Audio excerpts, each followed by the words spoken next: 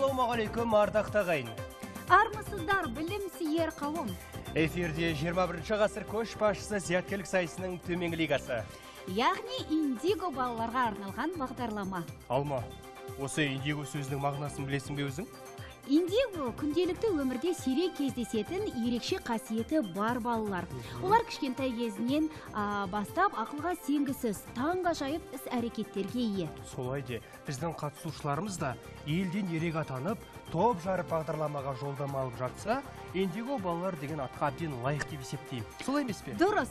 Жас жеткіншектерге қолдау көрсетудің өзі олардың талпынуына жақсы көмек береді. Алайда индигоны францияда тефлон британияда мың жылдық балалар дейді екен. Бір қызығы индиго балаларында екі жақ ми бөлігі бірдей жұмыс атқарады.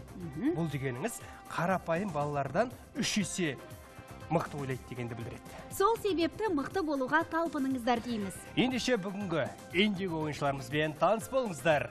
Өстемір Алмасұлы, Алматы облысынан. Көшбасшы атануға келдім міне, көрсетер өнерім көп сіздерге. Атым болса Өстемір Алмасұлы, келіп тұрмын жеңу үшін мен бұл жерге. Мақсатым кәсіпкер ат, кәсіпкер болу және ата-анамның үлгілі ұлы болу. Бәрекелді. Келесі қатысушымыз Думан Талғатов, Семей қаласынан. Менің мақсатым осы сайыста тәжірибе жинап, бағым сынау үшін келіп тұрмын жалпы мен есімді қоятын кезде туыстарымның әрқайсысы өз қалауынша қойғысы келген. Сол есімдердің ішінде ең лайықтысы думан болды. Өмірінде думанды жайттар мен қуанышты сәттер көп болсын деп қойған екен. Өте ерекше есім. Тамаша. Келесі ойыншымыз астана қаласынан келіп отыр. Есбол бақыт. Ер жүрек серіктің ұлы болам. Айнұрдай анамның тірегі нұры болам. Қазақ деген ұлы елдің ұрпағымын ата анамның мақтанышы тірегімін. Көшбасшыда көш ілгері болсам егер ата анамның үмітін ақтағаным. Менің болашақтағы арманым инженер мұнайшы аты болу. Және өз атымды баршаға таныту. Мен осылай дей отыра қарсыластарыма сәттілік тілеймін. Нақты керемет. Келесі қатысушымыз алматы облысының дарынды ойыншысы. Альбина шайзада. Ассалаумағалейкум қазақ елім.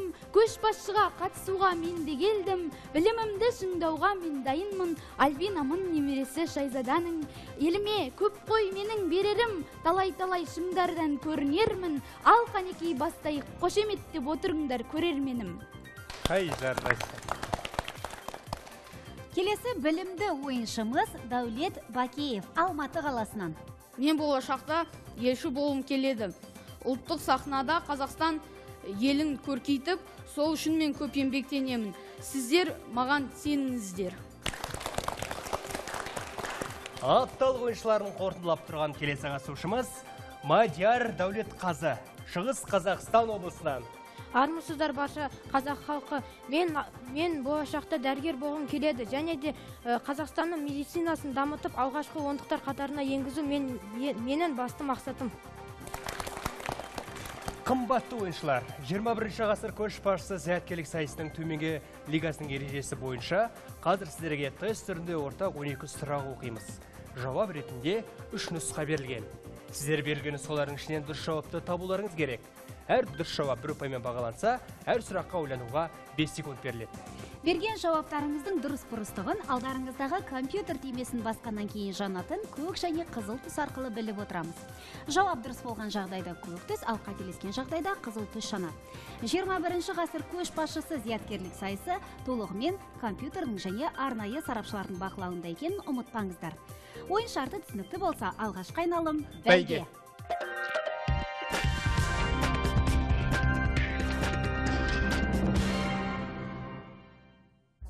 Сәбит мұқановтың аққан жұлдыз романында кімнің өмір жолы суреттеледі? Абай құнанбайұлының ақан сері қорамсаұлының шоқан уәлихановтың. Шоқан уәлихановтың әрине біле жүріңіздер. Екі қатынастың теңдігі. Пропорция теңдеу теңбе теңдік пропорция.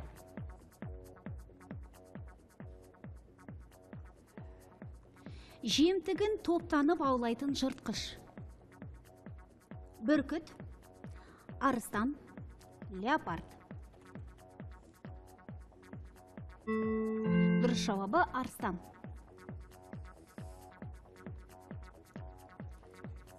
Титаник кемесі қай елге бағыт алған еді?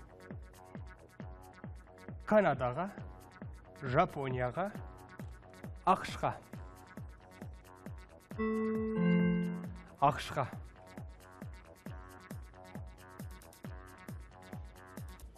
атаманның ақыры тақиялы періште фильмдерінің режиссері.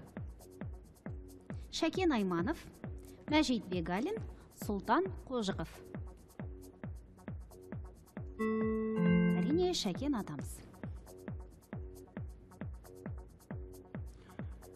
Күнді айнала қозғалатын ғаламшарлар жолы. Траектория орын ауыстыру орбита. Орбита. Алты сұрақ оқылды. Сараптамаға қараймыз. Өстемірде алты ұпай дәулетте бес ұпай есбол мен альбина төрт ұпайдан жинаған. Думан үш ұпай жинады. Мадиярда әзірге екі ұпай. Жалғастырамыз. Қайсысы мұхитқа жатпайды? Атлант жерорта тынық. Жерорта. Күшті өлшейтін құрал. Динамометр барометр альтиметр. Динамометр. Киіз үйдің алты сегіз он екі қанат деп аталуы неге байланысты? Шаңырағына туырлығына кереге санына. Дұрыс жауабы кереге санына.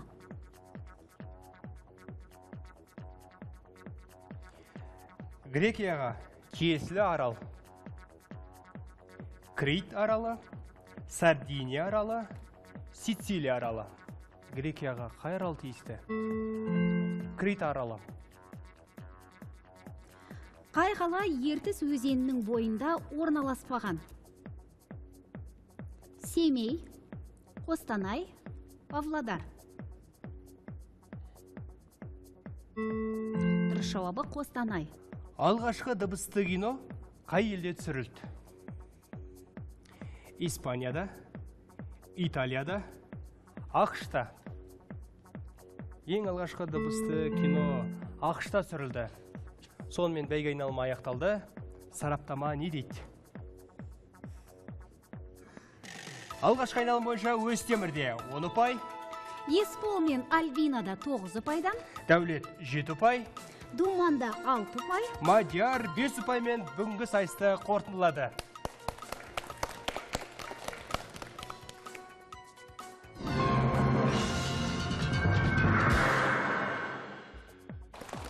Қымбатты ойыншылар. Алғашқы айналымда жинаған ұпайларыңыз сақталады. Қазір сіздерге бес сұрақтан әзірленген алты ұяшық беріледі. Ұяшық сұрақтарына алғашқы айналымда жинаған ұпай санына байланысты ойыншылардың орналасу тәртібі бойынша оқылады. Әр сұраққа ойлануға 7 секунд уақыт беріледі. Егер ойыншы өзіне тиесілі ұяшық сұрағына жауап бере алмаған жағдайда біздің қарсыластар деген сөзімізден кейін түймені басқан алғашқы екі ойыншы ғана жауап беруге мүмкіндік алады. Жауап дұрыс болған жағдайда бір ұпаймен бағаланады керісінше қателескен жағдайда бір ұпайын шегереміз. Мониторингтік сараптама шығарылғаннан кейін өкінішке қарай ұпай саны аз үш ойыншымен қоштасамыз.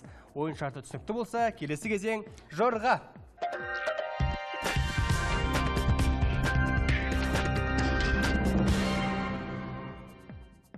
Өстемір екінші айналымда өзің болып бастамақсың.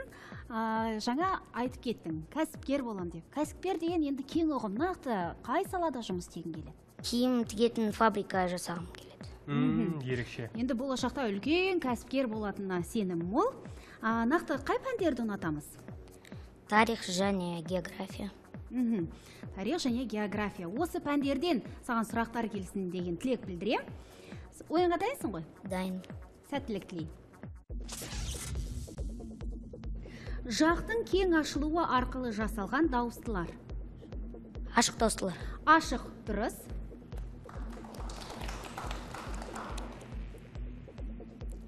Дененің кеңістікте сызық түрінде қалдырған ізі. Түзу. Жоқ қарсыластар. Үнсіздік траектория деп аталады.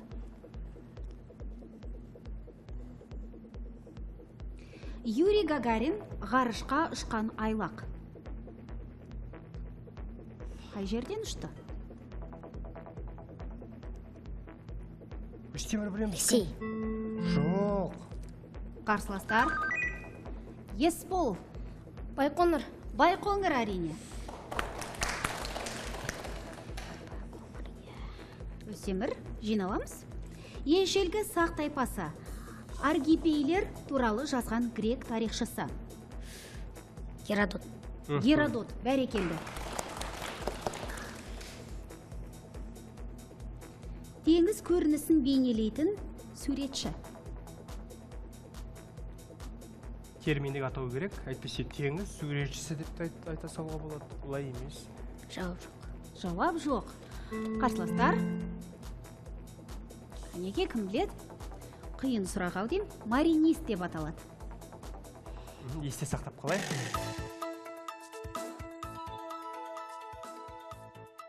Өстемір өзіңе бес сұрақ оқыдым. Соның екеуіне дұрыс жауап берді. Басы жаман емес. Досын қарап қалған жоқ. Есбол да өзіне бір ұпай қосты. Есбол өзіне бір ұпай қоса отырып кезекті де өзіне алды. Есбол астанадан келдік. Иә. Иә алматы қалай? Ұнап жатыр ма? Иә алматы ұнайды алматыға келгенде қандай әсерде болдың? Алматыға келгенде жақсы әсерде қай болдым жерлері ұнады? Алматының ұнаған жерлері маған ол көптеген жерлерге қыдырдық тренингтер ұнады. Ұнады. Болашақтағы ә, болатын мамандығыңды таңдадың ба? Енді қатты сен, күмәнім бар енді бірақ инженер болғым келеді. Неге күмәнданамыз? Білмеймін 11 сыныпқа дейін ойым өзгереді ау деп ойлаймын. Бірақ әзірге жүрек қалауы инженер мұнайшы болуды армандайсың. Иә. Иә? Сол арманыңа жетуіңе тілектеспін және арман алдамасын деп тілеймін. Қазір екінші шыққан сұрағына көшейік.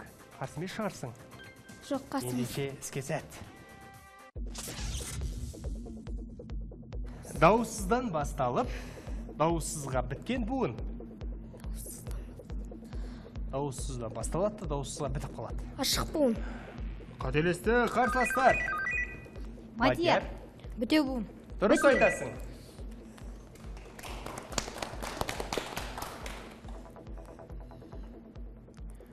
Жылдамдықтың өзгеру шапшаңдығын сипаттайтын шама.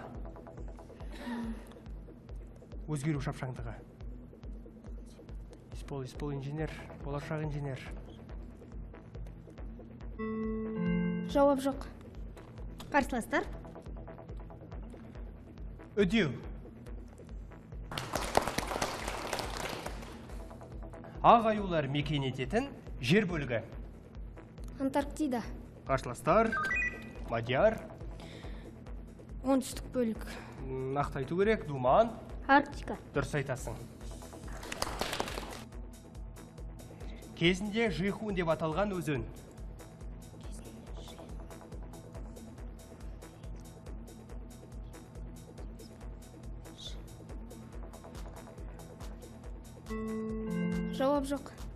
Қарсыластар.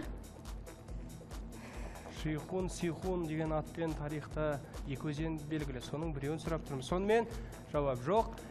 Жауабын айтайын. Әмудария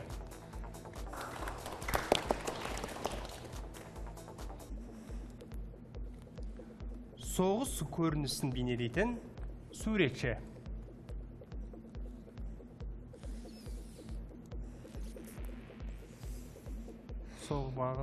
Теңіз суретшісі маринист деп аталады. Ал енді соғыс көрінісін бейнелейтін суретшіні есбол білмеді. Қарсыластар біле жүрейік.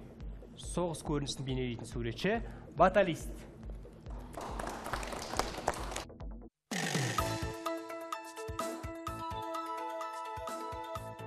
Есбол өзіңе бес сұрақ оқыдым. Өкінішке қарай дұрыс жауапты естімедік. Дегенмен де төрт ұяшық бар. Бәлкім сол бір сәттерді пайдаланып ұпай аласың деген ойдамын. Сондықтан көңіл күйді түсірудің еш реті жоқ деп есептеймін. Сен нағыз азаматсың.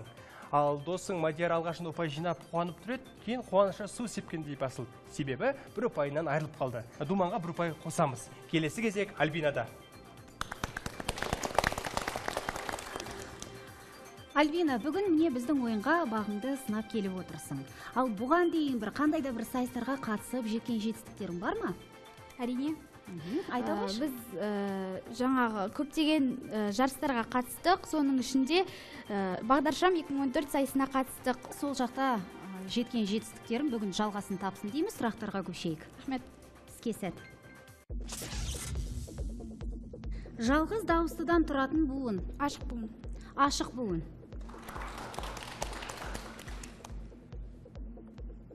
Қозғалыстың шапшаңдығын сипаттайтын шама. Шапшаңдық.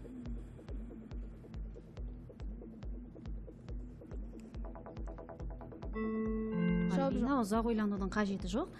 Қарсыластар. Үнсіздік жылдамдық.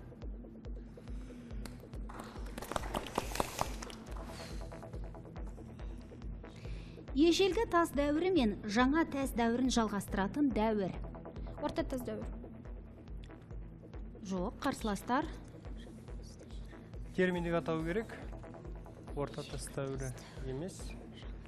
Атауы білесіздер кәнекей ойыншылар белсенді болайық. Есбол? Энеолит. Жоқ. Дәулет дәулет мезолит. Әрине. Мезолит дұрыс.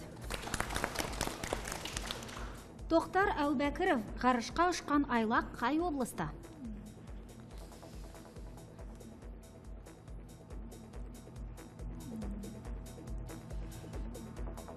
Еске түсірейік.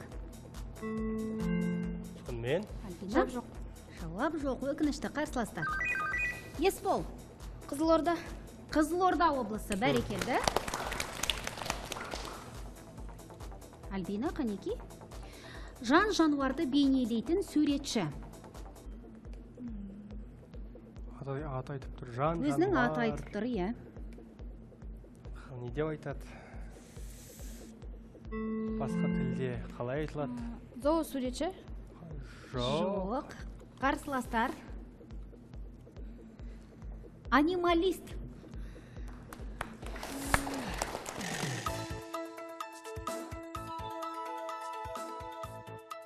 Альбина қалай сұрақтар қиын болды ма саған? Иә.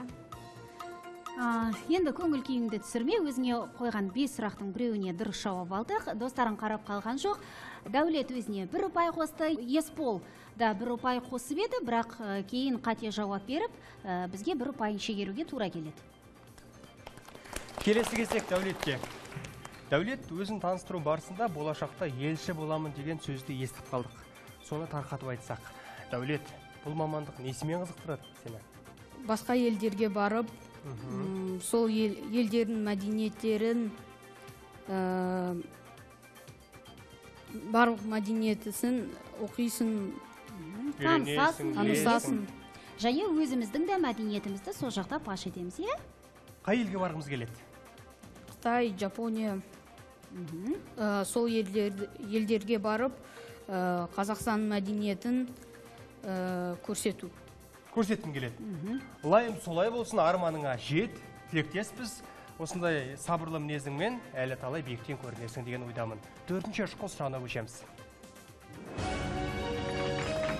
Керемет сүйінші сүйінші деуге толық құқығымыз бар. Дәулет бұл дабыл әрине дұрыс жауапты білдірмейді. Бұл қуанышты хабар түсіндіріп өтейін. Қазір саған бес сұрақ оқимыз. Соның кем дегенде үшеуіне дұрыс жауап беретін болсаң өзіңе екі ұпайды әріптесім екеуміз сыйға тартамыз. Тосын сыйдың ұяшығын алуға дайынбыз ба? Иә. Жақтың сәл ғана ашылу арқылы жасалатын дауыстылар.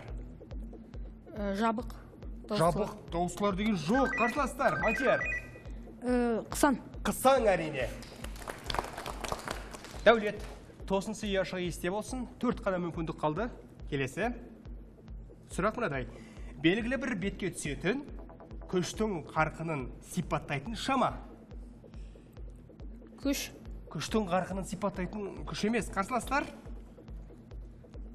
белгілі бір бетке түсетін күштің қарқынын сипаттайтын ол қысым деп аталады.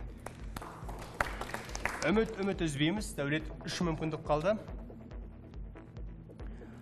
Қазақ хандығындағы халық саны қай ханның тұсында миллионға жетті? Қазақ хандығындағы халықтың саны он миллионға жеткен. Қай тәуке хан. тәуке хан. Қарсыластар. Мадияр абылай хан. Жоқ. Қасым ханның тұсында. Барса келмес қорығы. Қай теңізде? Барса келмес. Ертегілерде аңыз әңгімелерде жиі айтылатын осы мекен? Э, каспий. Каспий теңізінде емес қарсыластар? Енді әрине қай теңіз болуы мүмкін енді? Думан арал теңізі арал теңізі. бәрекелді. Эрмитаж прада лувр. Ненің атаулары? Зәул- зәулімлердің жоқ жоқ қалай? Лувр эрмитаж енді не еске түсіреді бұны? Енді елші болам десең білу міндетті бұларды.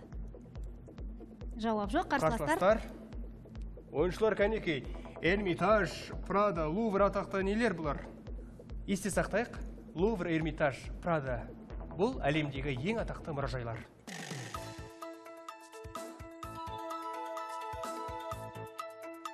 Дәулет өзіңе бес сұрақ оқыдым. Сұрақтар қиын болды ау шамасы иә? Иә. Жоқ жоқ олай емес. Дәулет олай аяқталуға болмайды. Оңай сұрақтар болды. Тек асығыстық танытып жауап бере алмадың деп есептеймін. Бес сұрақтың ешқайсысына жауап бере алмадың. Достарың мадияр алғашында жауап беріп бір ұпай алып еді. Кейін қателесіп бір ұпайын шегердік. Ал думанға бір ұпай қосамыз. Жарайсың думан. Думанның өзіне де кезек келіп жетті. Думан бос уақытта немен айналысамыз? Бос уақытта енді өнерге қатты жақын емеспін бірақ күреске қатысам. Болашақта кім боламыз? Ә, сақшы немесе дәрігер. Мхм. бірақ әлі шешу қойған жоқ әлі шешім қабылдаған жоқсың. Бүгінгі ойынға дайынсың ба думан? Иә. іске сәт бастайық.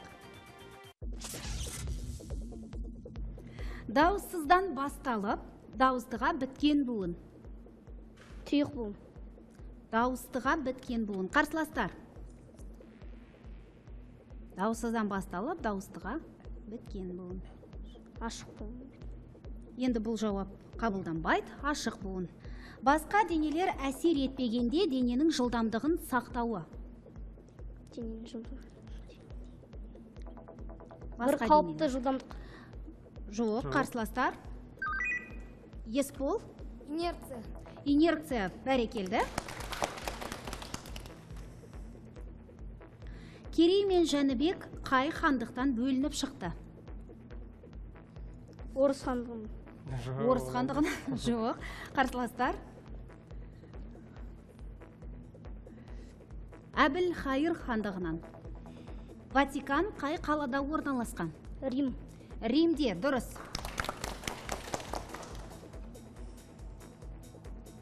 Тұрмыстық заттар мен жеміс жидекті бейнелейтін жанр. Енді мұны білеміз. Анималист дедік баталист дедік ал тұрмыстық заттар мен жеміс жидекті кім суреттейді тіпті мектепте де. Алма албырт қойып Иә. сурет салушы едік қой.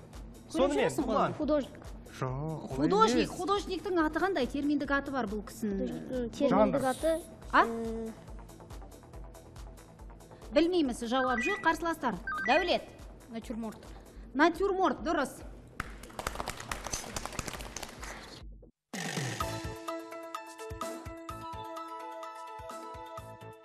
Думан өзіңе қойылған бес сұрақтың біреуіне дұрыс жауап алдық. Көңіл күйіңді түсірме достарың қарап қалған жоқ дәулет пен есбол да бір бір ұпай қосты.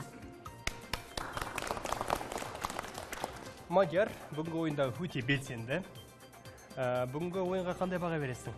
Тамаша. Ал мадияр уақытты қалай өткіземіз? Көбінесе кітап оқимын. Соңғы рет қандай шығарма оқыдың? Әлихан қалдыбаевтың шаншай атай ой шаншар атай мхм не түйдік? Ол кісі өзін ә, шаншар атай өзін қатау сырт көзге қатау көрінгенімен іші мейірімді жан. Өмірлік ұраның қандай?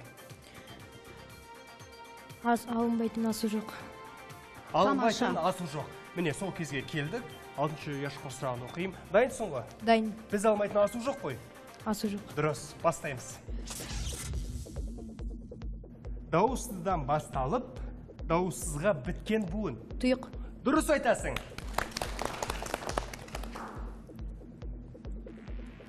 Зат молекулаларының екінші заттың молекулаларындағы бос орындарға өтуі. Диффузия. Диффузия тамаша жауап. Кроманьон адамы қай елден табылды? Франция. Қарсыластар дей алмаймын дұрыс айтасың. Жақсы келе жатырмыз. Осы қарқыннан тайма атлант мұхитының ірі жанартау аралы. Мадагаскар. Қарсыластар қателестік. Мүлт кеткен мадиярдың мүмкіндігін кім пайдаланар екен? Біле жүрейік. Исландия.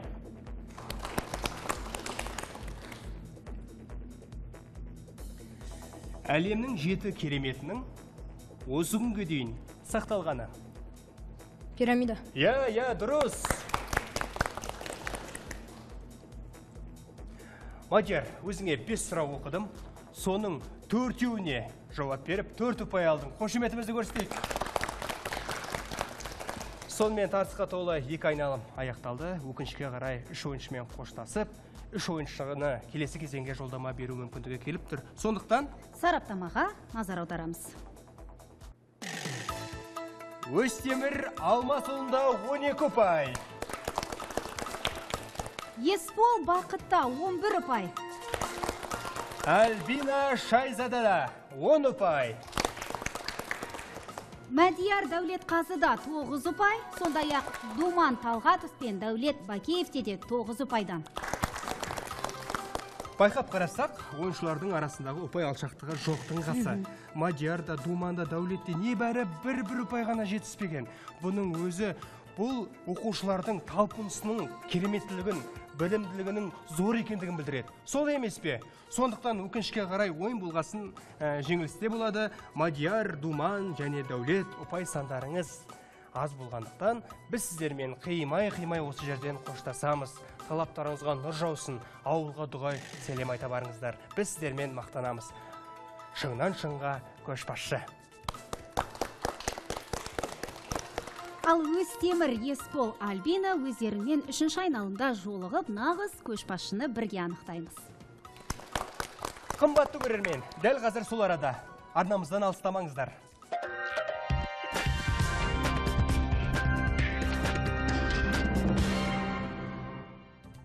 Қымбатты көрермендер екі айналым артта қалды. Бізде әдеттегідей серікту сәті үшінші айналымға жолдама алған бізде Өстемір, Альбина және де Есбол Ә, Өстемір саған қай саланың сұрақтары қиынға соғуда?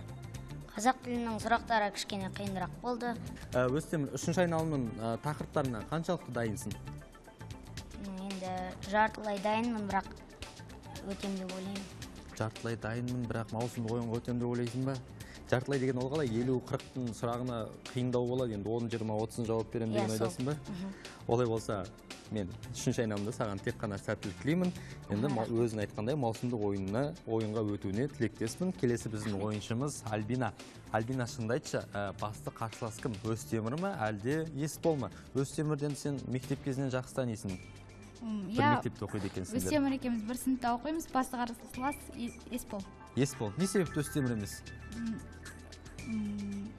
Өстемір өзімнің сыныбымда оқығаннан кейін ә, оны көбінесе қарсылас санамаймын. Альбина сен өз кезегіне ә, бес сұрақ қойылған кезде өте жоғары ұпай жинай алмадың. Неге? Сұрақтар қиынға соқты ма? Әлде қобалжу басым болып кетті ма сенде? Сұрақтар қиын болды. Ә, көбінесе сурет тақырыбында қиын, қиындау болды. Үшінші айналымдан не күтеміз альбина?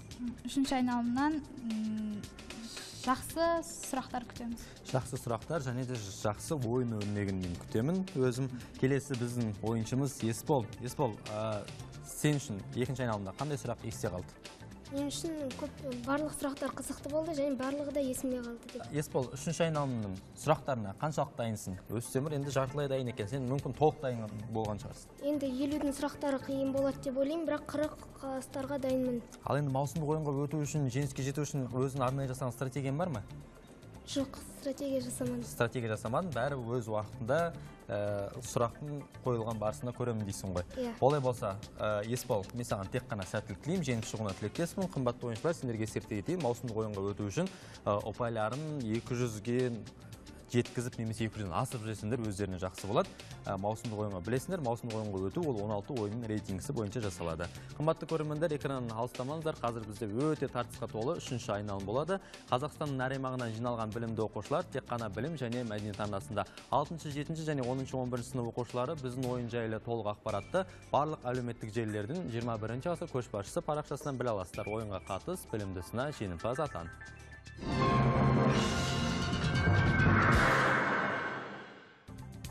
Алма қалай ойлайсың? Адам өзінің оқып тоқығанын қанша жасқа дейін есіне сақтай алады? Білмеймін. Отызға дейін шығар жалпы сол уақытқа дейін мектепті де жоғары оқу орнында бітіреді ғой. Ал қартайған шақта. Көп нәрсені үйренуге болмай ма не? Мысалы ол жаста әрине әлемді төңкеріп тастамаса да әлемде атақтары жер жарған жандар да бар. Иә бірақ 1928 жылы америкалық психолог әрі педагог торндайк оқып білу қасиетінің 20 жасқа дейін өсетіндігін ал сосын кері қарай кететінін дәлелдеген болатын. Олай болса тыңда. Радиация саласында көп қызмет атқарған және екі мәрте нобель сыйлығының иегері мария кюри елу жасқа дейін жүзе алмаған. Кейін қыздары жүзуді аналарына үйреткен. Содан соң мария жүзуден алдына жан салмаған көрінеді. Тағы кімдер бар?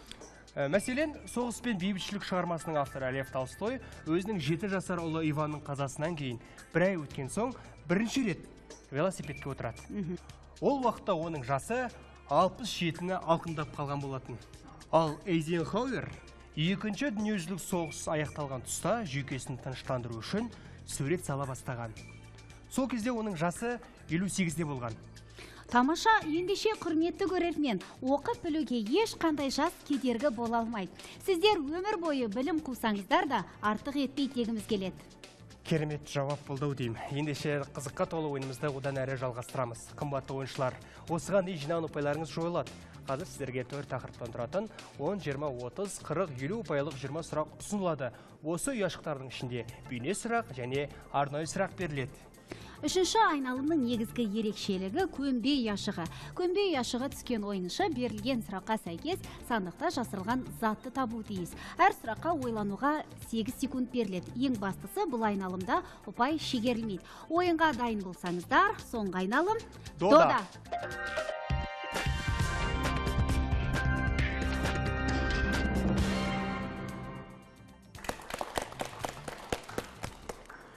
Тақырыптарымыз төмендегідей. Ең ең атмосфера. күнтізбе. Және мағжан жұмабаевтың ана атты аудармасы яғни ана шығармасы сонымен өстемір алдыңғы айналымда ұпайың өзіңнің жоғары болғандықтан осы жолы өзің таңдайсың. Ең ең қырық. Әлемдегі ең биік сарқырама. Сұрақ қиын емес. Суретке мән берсең жауап табу жауап жоқ. оп оңай. Жауап жоқ. Қарсыластар есбол анхель. Анхель тамаша.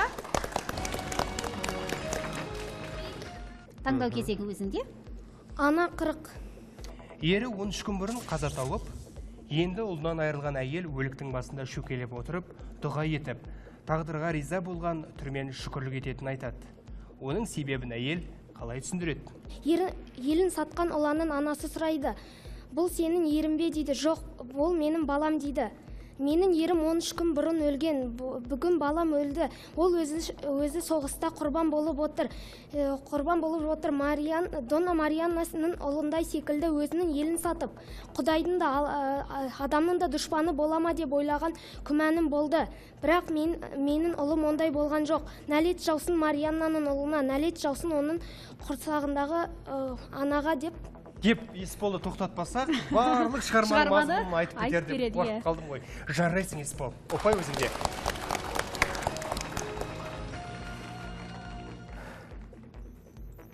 ең ең он. Әлемдегі ең суы мол өзен. Ніл өзен. Жоқ қарсыластар. Өстемір. Амазонка амазонка дұрыс таңдау кезек өзіңде. Ең ең отыз.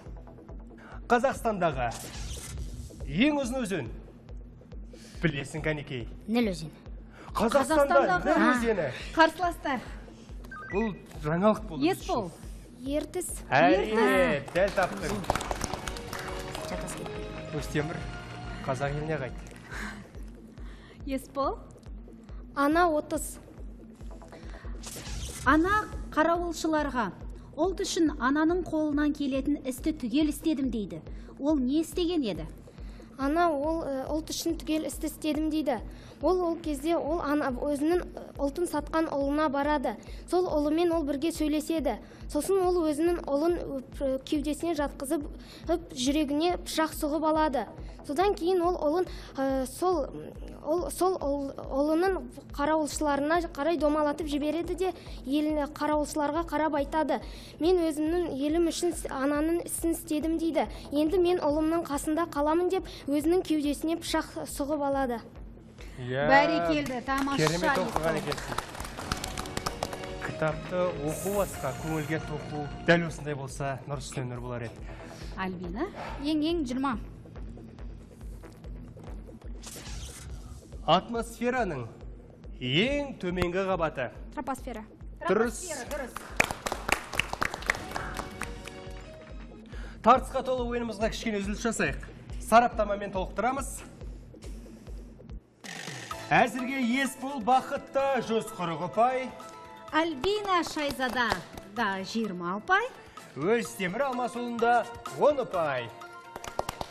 Өстемір достарыңды қуып жету керек, сондықтан ұпай қай ашық таңдаймыз. ең ең елу қазақстандағы ағын сусыз ең терең ойпат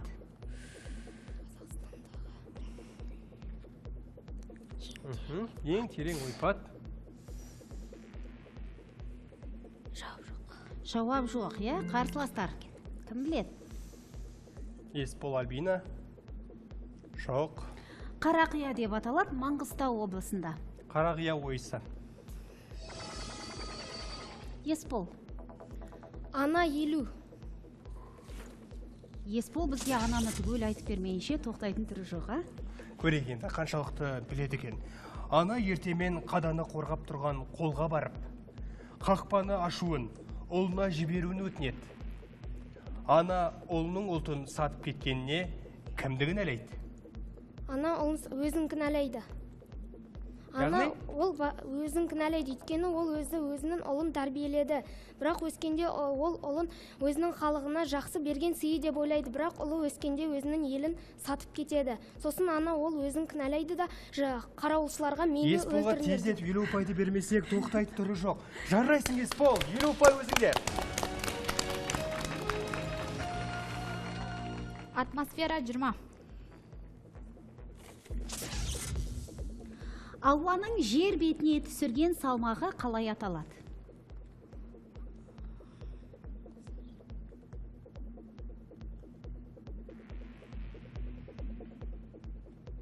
Жауап жоқ. Қарсыластар. Есбол қысым. Толық? ненің қысымы? Қысымның сал- ауаның қысымы. Иә Иә, дұрыс. дұрыс. Ауа қысымы немесе атмосфералық қысым. Өстемір. атмосфера отыз Құрғақ ауа көлемінің 78 пайызын азот құрайды. Қалған 21 пайызын қай газ құрайды? ауа Ауа, ауаның көлемін 78 пайызын азот құрайды деп тұрмын. Енді 21 қалған пайызын 21 пайызын қай газ құрайды оттегі оттегі. бәрекелді өстемір сұрақты мұқият тыңдаймыз есбол әдеттегідей ана шығар иә ана жиырма есбол бұл бізде бейне сұрақ біздің тақырыбымызға тікелей қатысты екенін есіңе салам қымбатты ойыншылар есболмен бірге назарымызды экранға аударайық. Мағжан жұмабайұлының ана атты аудармасы алғаш 1923 жылы ақжол газетінде жарық көріп кейін 1924 жылы мәскеуде шыққан жинақта жарияланды. Ана романының авторы мағжанның аудармасына ерекше тәнті болады. 1929 жылы мағжан жұмабайұлына жала жабылып мәскеудегі бутырка түрмесіне 10 жылға айдауға кесілген кезде романның авторы араласып ақынның бостандыққа шығып еліне қайтуына мүмкіндік береді. Мағжан жұмабаев ана сұңқар туралы жыр темірді жұмсартқан ана жұртын сүйген жүрек атты шығармаларды кімнен аударған еді? Максим горький. Дұрыс айтасың. Аналардың галереясын жасаған қаламгерді білген есболға бір қошеметімізді көрсетейік. Атмосфера он. Альбина бұл бізде арнайы сұрақ тақырыпқа байланысты емес. Сұрақты білу үшін экранға назар аударайық. Құрметті сайысқа қатысушылар менің жұмбағым мынадай. Ә, өзі шырақ өзі қу жүрген жері айқай шу. Қу айқай шу. Түлкі? Түлкі. Көрейік енді басқа нұсқалар тыңдап өтейік тыңдап өтейік. Ә, өстемір. Есбол? Есбол. Жауап жоқ. Жауап жоқ Ә, өстемір. Жауабын тайманның өз аузынан естейік. Жауабы түлкі. Түлкі бәрекелді жарайсың альбина ал енді дәл қазір сараптамаға кезек береміз сонымен көшбасшылардың арасындағы текетірестің нәтижесі бойынша есбол бақытты 230 ұпай өстемір алмасұлында қырық ұпай альбина шайзада 30 ұпай жинады өзгеретін нәрселер өте көп өстемір есболды қуып жету керек. Қанша? Атмосфера қырық. Дүние жүзі метеоролог мамандарының бақылаулары қандай уақытқа негізделеді?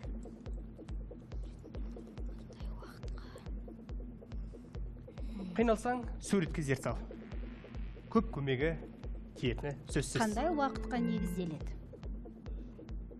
Жаз. Қандай? Жаз? Жаз жоқ сұрақты ондай дұрыс жаз емес. түсінбедің ғой деймін. А, қарсыластар. Есбол. 17-18 ғасырлар. Жоқ жоқ жоқ олай емес. Біз ауа райды білу үшін 18 ғасырға кетпейміз ғой. Альбина бар ма нұсқа жауап жоқ. Гринвич уақытына. Түсіндіңіздер ма? 0 градус гринвич уақытына негізделеді. Есбол. Ана он. Қою қараңғылықта басына қара жамылған әйел үнсіз кетіп бара жатады. Оны көрген халық қақпаларының астына жасырынып қалады. Не төмен қарап жанынан жүгіріп өтіп кетеді. Таныған адамның бәрі одан әдейі аулақ жүреді. Не себепті? Себебі ол ананың баласы оны ол ана бақытсыздықтан жаралған себебі оның ұлы өзінің елін сатып кеткен. Содан ана ол тек қана бақытсызда өмір сүреді. Ал адамдар оны өлікті айналып өткендей соны айналып жүреді. Есбол бұл жолы қателескен жоқсың. Тағы да жарайсың. Альбина соңғы ұяшық. Атмосфера елу. Батыс еуропада ылғалды әрі жылы ауа райы қалыптасқан. Қаңтардың орташа температурасы минус 2 градус цельсий шілденің орташа температурасы плюс 20 бұл өңірде ауа райының қалыптасуына не әсер етеді? Батыс еуропада. Ауа райының қалыптасуына не әсер етеді?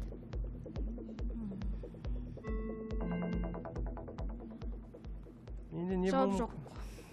Ойланған жоқсың альбина әйтпесе бұны оп оңай тауып алатын едің. Қарсыластар. Бізде өстемір күннің ыстығы. Күннің ыстығы. Емес. Жоқ. есбол жауап жоқ. Жауабы солтүстік жылағыз ой бәйгесі өз жүйрігін анықтады. Сараптамаға нәтижесі бойынша есбол бақытта 250 ұпай. Өстемір алмасұлында қырық ұпай. Альбина Шайзада үздік үштікте 30 ұпай. Альбина, енді нәтижеге қарап өте керемет деп айта алмаймыз. Бұған өзіңде келсетін шығарсың. Иә. Бүгінгі ойында не жетіспеді? Сұрақ күрделі болды ма әлде бақ шаппады ма? Сұрақ күрделі болды. Осы сайысқа келіп өзім білмегенімді білгеніме өте қуаныштымын. Біз де қуаныштымыз. Тамаша. Өзіңе пайдалы нәрсе алдың ғой? Иә. Демек сен жеңімпазсың. Сені шын жүректен құттықтаймыз. Өстемір, өзіңнің көрсеткен ойыныңа көңілің тол- толмай тұрған сияқты, иә? жоқ әрине толды ғой көрсеткен ойыным Өт- өте тартысты және жақсы болды Аха, біздің ойыннан не түйдің? Саған ой- ойын не берді? білім берді көптеген білмеген сұрақтарымды білдім Аңсаған армандарыңа қол жеткіз Өстемір. Жарайсың. Қадірлі көрермен, жеңімпазды марапаттамас бұрын сараптамаға назар салыңыздар. 12 апта бойынша сараптама нәтижесі. Есбол бақыт 250 ұпай астана қаласы. Аружан аманбаева 240 ұпай астана қаласы. Айтқали кушенов 180 ұпай алматы қаласы. Абылай бахиденов 160 ұпай павлодар қаласы. Альмира абзалбекова 160 ұпай семей қаласы. Даулет жамбыл 150 ұпай талдықорған қаласы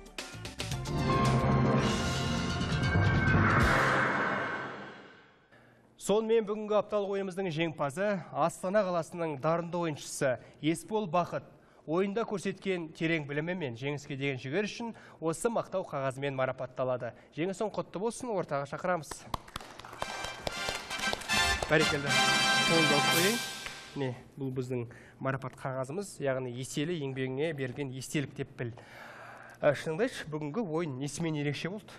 бүгінгі ойын өте тартысты өтті және қарсыластарым бай, байсалды белсенді қатысты бүгінгі ойын өте жақсы өтті деп ойлаймын Бұл мақтау қағазын жеңісті кімге арнаймыз?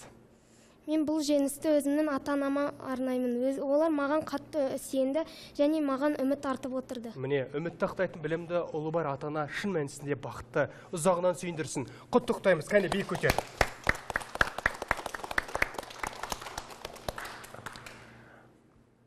ойында жеңімпаз атану міндетті емес бірақ білімнің қандай деңгейде екенін көрсету маңызды. Ендеше әрбір іс әрекеттеріңіз нәтижелі болсын. Қымбатты көрермен осымен біз сіздермен қоштасамыз. Білімділер бәсекесінде кездескенше аман сау болыңыздар.